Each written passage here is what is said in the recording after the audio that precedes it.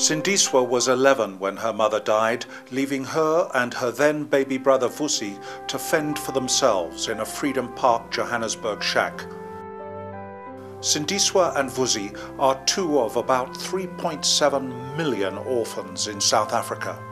About half of them are AIDS orphans. Today, parents are dying before their children are grown up. This means that South Africa is, and increasingly will be, a country populated by a large number of orphans. These two children are the lucky ones. They are amongst the nearly 20,000 who are being supported and nurtured by NOAH, Nurturing Orphans of AIDS for Humanity, which empowers communities to care for their vulnerable children in the South African provinces of Gauteng, KwaZulu-Natal and the Northwest.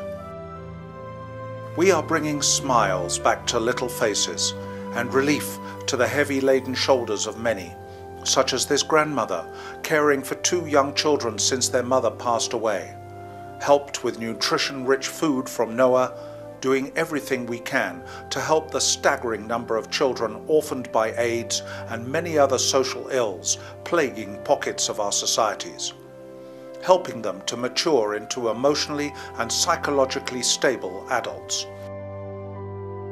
NOAH helps to create community-based organizations, or CBOs, to carry out our mission. These CBOs are not buildings, but synergistic groups of caring community members. Elected community members are mentored and guided by NOAH on a financial, organizational and skills training level based around a satellite office where a feeding program is operated. It could be a shipping container, a school classroom, a community hall or a shack. Eventually, this may become a resource centre with daycare and aftercare programs. From each community-based organisation, volunteers are mobilised to go house to house to register vulnerable children and deliver services to them. Volunteers continually check up on the children and refer them to the appropriate agency as needed. Sometimes NOAH uncovers unbearable suffering. Here little Thabo, abandoned by his mother, orphaned by his father, is at age six the only one looking after his grandfather, smitten with blindness, using guide wires to walk. The highlight of this tragic family's day is the visit of the NOAH volunteer. Seven-year-old Sipiso runs home from school. She's lost both her parents, but her grandfather waits for her. He can't work as he's frail from advanced age. A family again cared for by NOAH. We are a registered non-profit organisation. In the spirit of Ubuntu, caring for one another, we believe that it's better for orphaned and vulnerable children to stay in their own familiar communities rather than institutionalizing them. 16-year-old Mandisa has thrived under this system. NOAH offers donors the opportunity to sponsor an individual child. Mandisa's parents have both passed, but with NOAH's and her sponsors' help, she is passing her final days at high school and on track for university. Donors can also adopt part or all of a community-based organisation, producing a lasting legacy. NOAH's mission is to empower communities with the knowledge, skills, strategies and self-confidence to form and successfully run their own community-based organisations supporting the well-being of vulnerable children.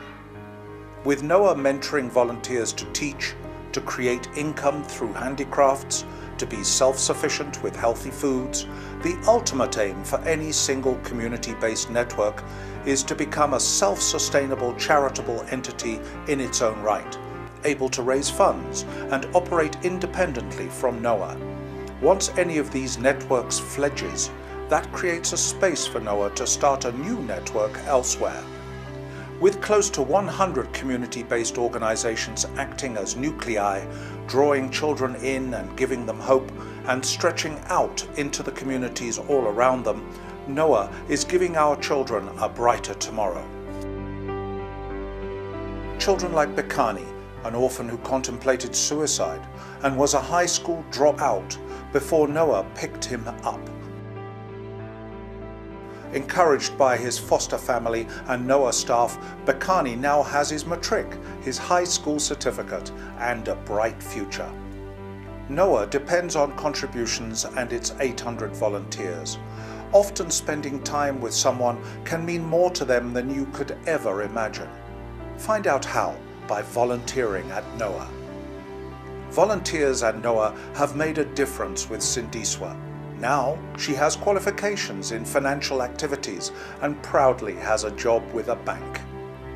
Sindiswa proves that all these children need is just a glimmer of hope. Help us provide that hope and create more communities caring for children.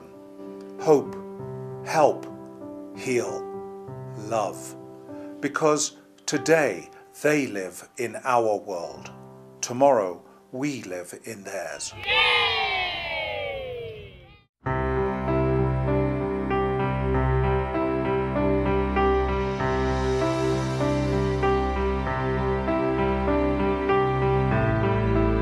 There are many ways in which you can get involved with Noah, either by the giving of your time, things, or money. Send an email to getinvolved at noahcommunity.org for more information.